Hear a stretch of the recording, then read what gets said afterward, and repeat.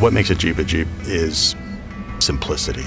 That uh, the the die is cast. We we know pretty much what it's got to do, what it's going to look like.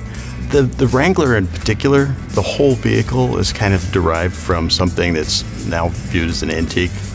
The fact that we still lunch off of that, that we go back to our very first vehicle and are inspired by that. We're right now we're working on the next Wrangler, I can say, and there's a lot of the very first vehicle in that, and to have that kind of span, 75 years to go back, and I don't know who does that, but I think it's important for us uh, that we pay close attention to our history.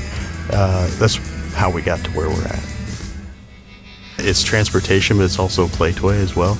Uh, and that doesn't matter which Jeep it is. It doesn't have to be a Wrangler. It can be uh, a Patriot or a Renegade or something like that.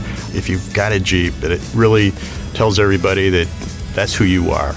Uh, you're ready to go have fun, top down, doors off, let's go get muddy. The guys that drive around, you know, go splash through the mud and don't purposely don't wash it and then drive around downtown to show everybody that's what they do, that's pretty cool. Um, I, I like to be part of that.